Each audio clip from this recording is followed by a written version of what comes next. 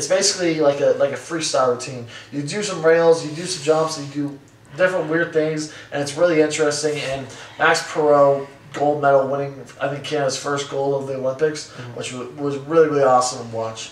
Strange how Canada's really good at the Winter Winter Olympics. Olympics, I know, right? Crazy how that works. Uh, let's go ahead.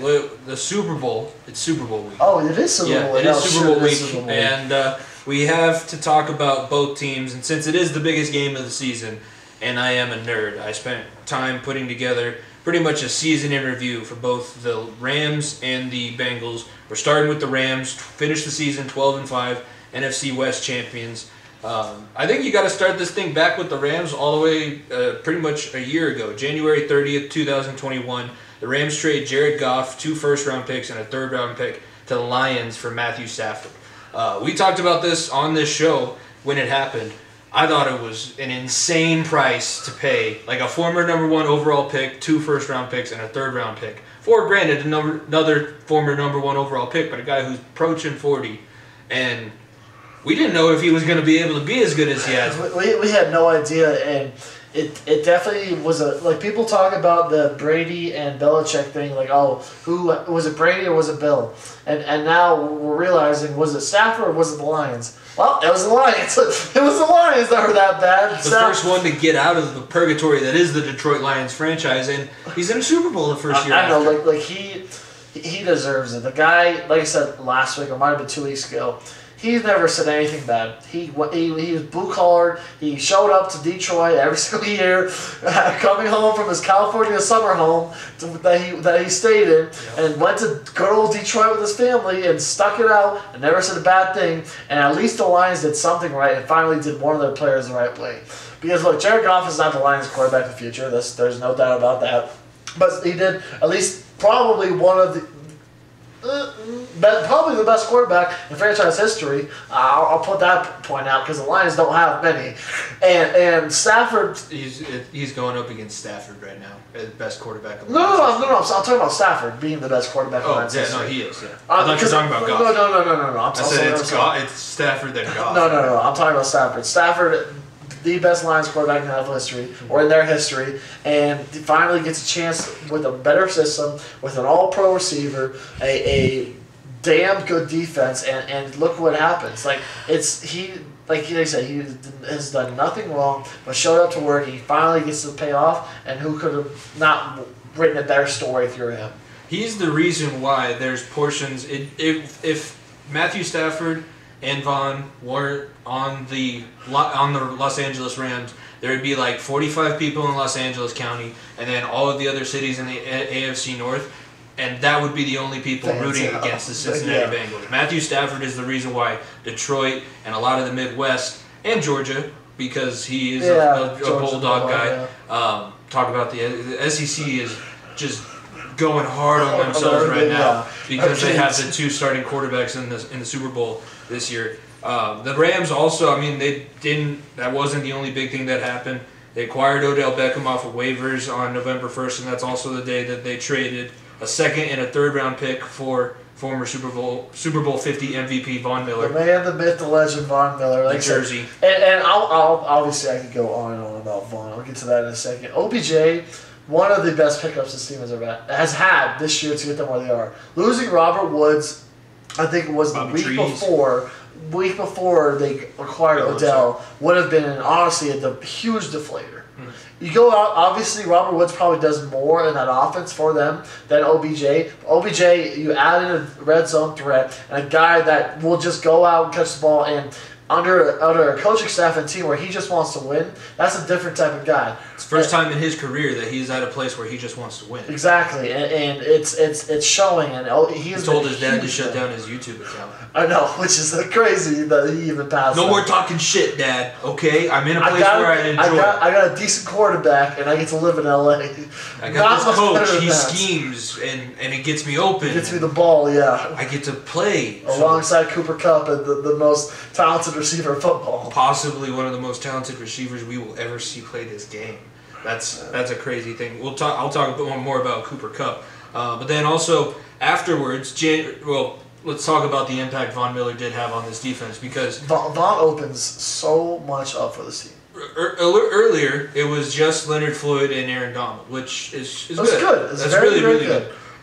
Von is a different level. It's- Even though Von is not the Von that we saw play in Super Bowl Fifty, because there are some plays like plays where he would finish or dip a little bit lower. He doesn't quite have that same bend. He's getting old. He's getting old, yeah. But he happens. is. There's that three or four plays where he does that dip and rip, and he beats the shit out of your quarterback. And he still is one of the fastest players off the ball you'll ever see. Like the the factor in and look, Donald, we could argue and say that, that Donald is the best defensive player of this The generation. most, I think he's the most dominant player we've seen in the NFL. Exactly, and and we'll, and you're talking about a defensive line that has or a pass rush slash run defense where will have two Hall of Famers on it.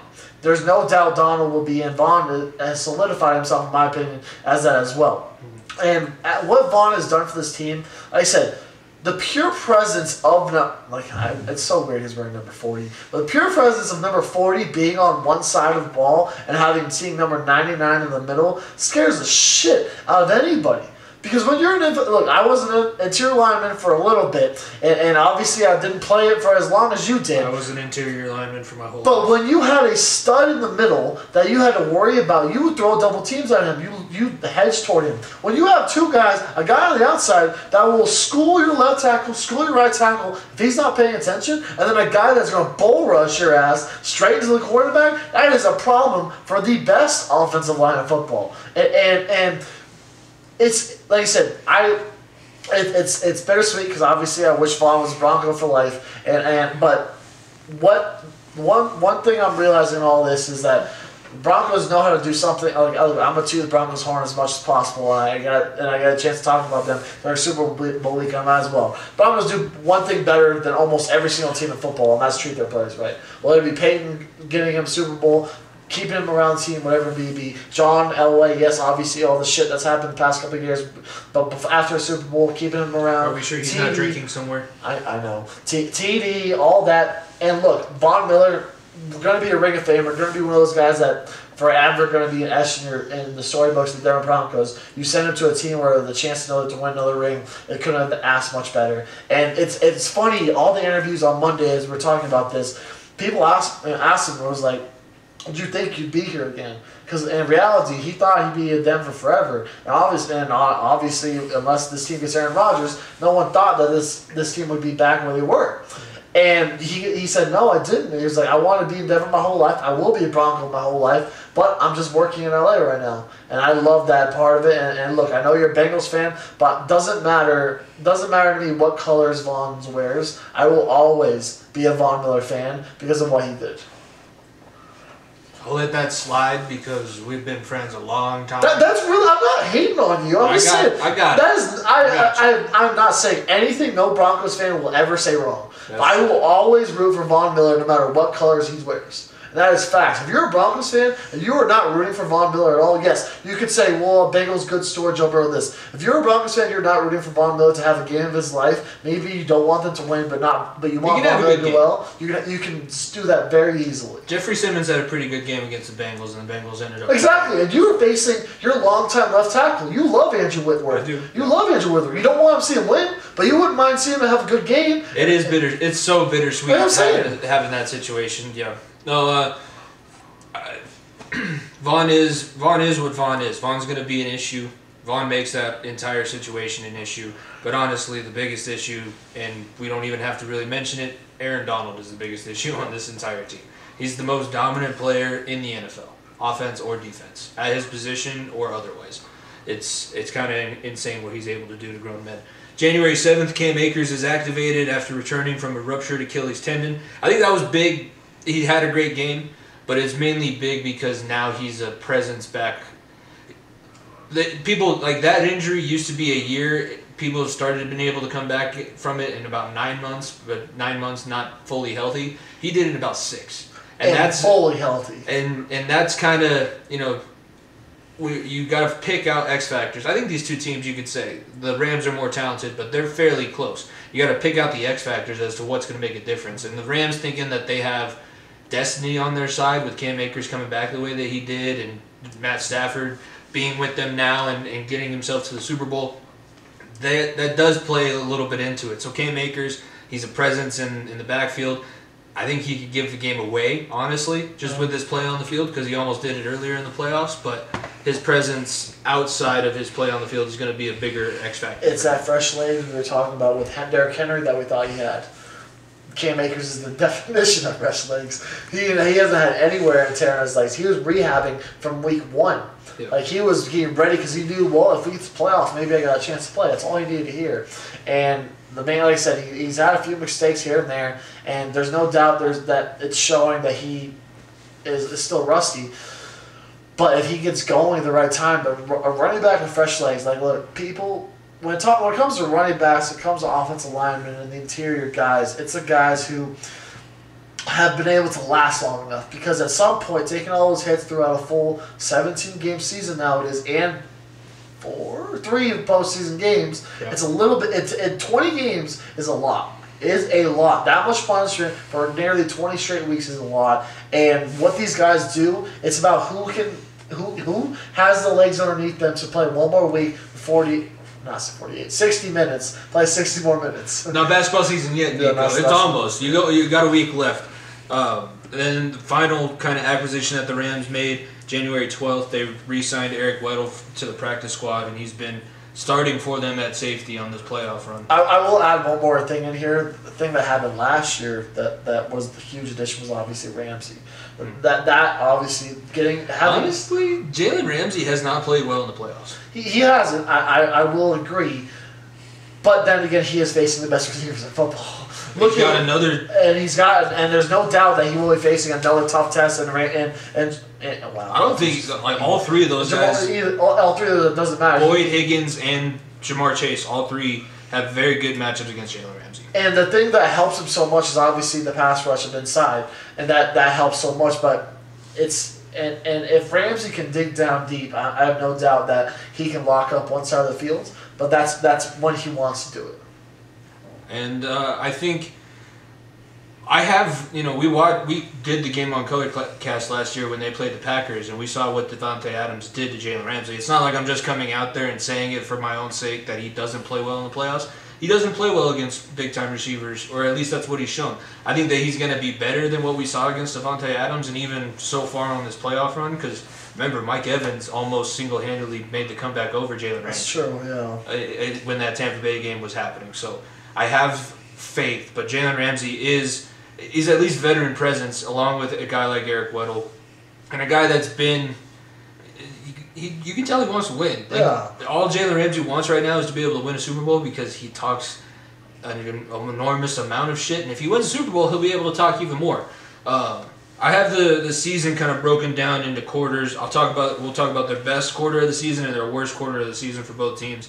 And the best quarter of the season for the Rams was that second month of the season. They won at Seattle, at New York, against Detroit, and against Houston. So they went four and zero in the second month of the season.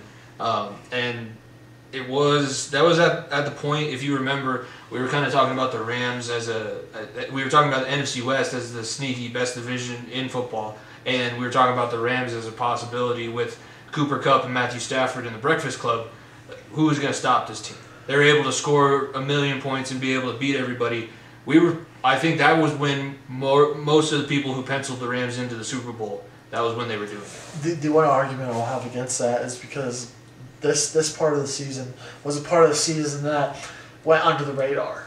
This team went under the radar because there's another undefeated team still still in their division during this time, and it was the Arizona Cardinals. And to me, that, that last month of the season is where we showed who they were. Yes, the loss of the 49ers happened, but they had won the division.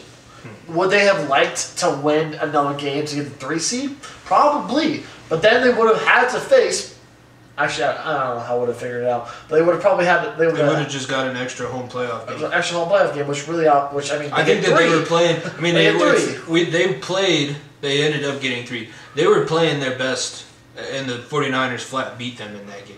That was The 49ers were playing for their last. that's true, but I, I think that playoffs, and and you you go into Arizona and you beat them, which is a huge win. Seattle obviously fell off a little bit. That Baltimore win, like it's look no Lamar, that's a huge difference. But you three gritty or, or road wins set you up perfectly to host guaranteed one, and now you get two more, or you had one in the conference championship, and you got and you got one more in the Super Bowl. Yeah, uh, and they bounced back from the worst month of that, that they had in their season, where they lost to Tennessee, San Francisco, and Green Bay all in a row. That's their longest losing streak. They went on two five to six game winning streaks of the season, so very successful. And then in the postseason, obviously, uh, wild card round, 34 to 11 over the Cardinals to beat them twice in the year. Uh, Tampa 30 to 27 on the last play of the game. Willie Gay made the game-winning field goal, and then San Francisco Matt Gay, Matt Gay. Willie Willie Gay is a linebacker, I think for the Chiefs Something, yeah. somewhere. He's somewhere in the Rolodex. Uh, and then San Francisco in the conference championship, 20 to 17. You did mention this is the first time in history the team will be playing their conference championship and the Super Bowl in their home stadium. Second time in two years that the host uh, city is Yeah, also and, being played yeah, in the. Super Bowl from now on will be hosted at, at Jerry's World, Yep. so that no team ever will be able to host a Super Bowl again. People, uh, I'm just, home stadium. You know, the best thing about this weekend is that you could have been able to. You used to be able to say play it in Cincinnati because the Bengals will never be able to play there. Yeah, except there's no indoor facilities and you'd be playing in the snow. There is no indoor facilities. I mean, you can go play you'd have to walk across. Yeah. You'd have to walk across the street from the locker room to the actual stadium. You got to pay for your own Gatorade and bring your own jockstrap as well. Uh, Paul, Mike Brown just doesn't spend any kind of money. The the stat leaders, Matthew Stafford in the regular season, uh, 4,000 4,800 yards, 41 touchdowns, 17 interceptions. In the postseason, he's got 905 yards, six touchdowns, one interception. I will say we were talking about him and that little bit of a losing streak as a possibility of the reason why this Rams team doesn't achieve what they should be able to. And it, give him credit in the playoffs, he has not cost this team a whole bunch. That one interception was bad, but they were able to overcome it. Should have thrown the second interception to Tartt, but you know, coulda, woulda, shoulda. Close, is, There's a close why- only matters in horseshoes and hand There's a reason why corners play defense. Yeah, uh, he's been absolutely on fire for them, and then Cooper Kupp as well. We said The triple crown winner. That's Yeah. all you need to say. his, his, regular season stats: 145 catches, 1,947 yards, 16 touchdowns. He averaged 114 receiving yards a game. Just, just nuts. You can't cover The that. dude is different. You can't cover him, and the Bengals are gonna have their hands full. Uh, Good old Eli Apple and Vonn Bell. yeah, I I'm interested to see what they're gonna. Do. Oh do. man, I, I'm gonna tell you. Lou right Anarumo has your ha, has his hands full. All, all I'm Lou saying, Anarumo just has to take away one weapon. Go ahead. all I'm gonna say is you better have Jessie Bates over the top on a on deal every single time he is in a route. Cooper Kupp, Oh, or yeah, that's, wrong white receiver. wow. I, I don't know what I just said. Adam Thielen. Oh wow, yeah, wow, wow, definitely completely wrong. Coo- yeah, Cooper Kupp. You better have him over Cooper Kupp every single ti- time down the field. I- because because I'll tell you right now, Eli Apple is one on one coverage. Cooper Kupp. Stafford is just going to give him the ball every fucking time, and it's going to be a long day for anyone who's a Cincinnati fan. It's true. It's true. I think that really what they should do is the scheme that they had against the Chiefs in the second half, and this is getting further into the, the Bengals than I wanted to. That's what they should be playing against Cooper Kupp. But it doesn't really matter. In the postseason, uh, 25 catches, 386 yards, four touchdowns. Um, and then obviously we talked about Aaron Donald. He had 84 tackles at, from defensive tackle.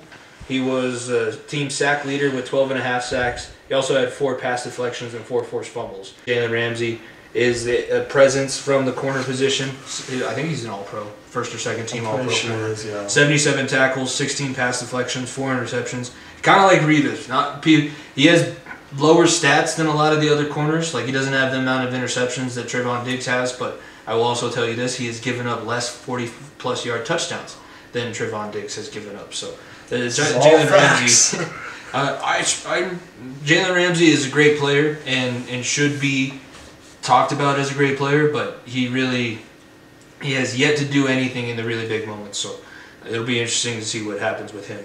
Uh, and obviously Sean McVay, fifth year as the Rams head coach, is 55 and 26, six and three in the postseason.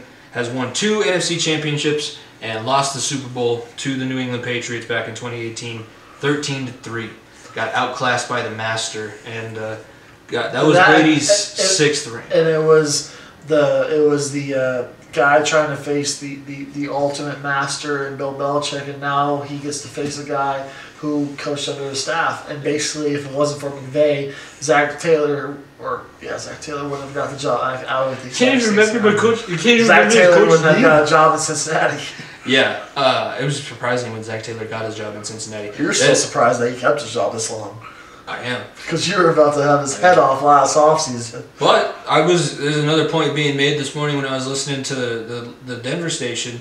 Think about the coaches like it's a good I- I don't- thirty percent of the coaches right now in the NFL are under that Shanahan tree. I know I was going to talk about this later, but I might as well do it now. The Mike Shanahan coaching tree. Let's all. It, it is a third of the league. There. So I'll, I'll pull it up right now. San Francisco, Kyle Shanahan. You have and look the tree. Obviously, maybe they coach under Mike, but it's it falls down. Then you have Robert Saleh, the Jets.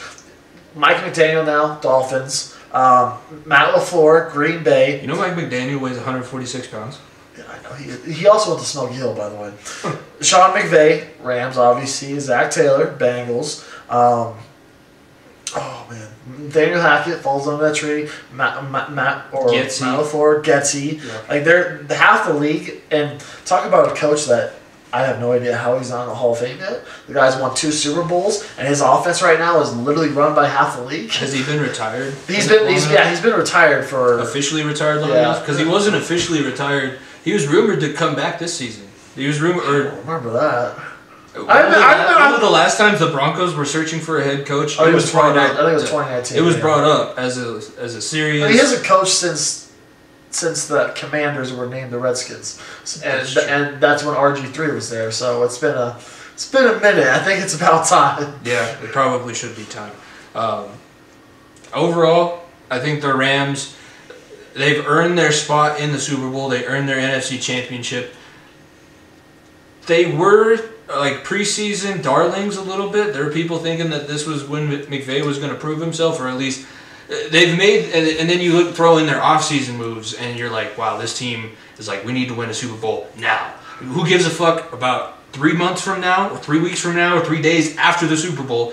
I need to win a Super Bowl and then I'll be fine. So that's what this Los Angeles Rams team has done. They're in the Super Bowl for a reason, um, and and they're going to be a tough out. I, obviously, sitting here as a Bengals fan, I can you can tell where my bias is going to lean, but the Rams are going to be a tough game. It, would have been much easier. You you would have been the they're the worst matchup of the two. you would have been the betting favorite against San Francisco. I'm- I, I 100% agree. You would have been the Yes. betting favorite against San Francisco. You're given four and a half. The Rams are given right now four and a half. I'm I'm encouraged that it's. I think it started at three and a half, and I think it's only gone up one. yeah. I'm encouraged by that. I'm because the the one thing that I, that you can't have, especially at a stage like this, is the disrespect. So and not everybody's not even nobody's really saying that this is going to be a blowout. Nobody's No. predicting that They, these two they, teams are. everyone's right now like, like look. Obviously, LA being in a Super Bowl, it's great for business. But for, for fuck's sake, no one knows how to promote a Super Bowl with a Cincinnati team better than the NFL. Like everyone, like there could be more hype around this Super Bowl because of all the talent around the field. Talk about a guy that's looking to make history in, a three-year span of a Super Bowl or a Super Bowl, a national championship, and Heisman, and you look at a guy that left the most forbidden and, and basically bad, rotten franchise in sports history, the Detroit Lions, going to win a Super Bowl, and you have both those guys going off against one another. It's one of those things where yes, you're a Bengals fan, but you can't like feel bad for Matt Stafford. You're happy that he's doing well and he left somewhere bad. You don't want him to win, but you you're happy that he's actually doing well for himself as he left. This is the only matchup where I could say I don't. I, I would like to see the Bengals blow them out. Yeah. It would be better for me in my heart. But I want this to be as good of a game as possible. Mm-hmm. That's all. That's the second most thing that I'm rooting mostly for. First being the Bengals winning the Super Bowl, obviously. But I want a good game, and I think that we have a really good shot at a good game.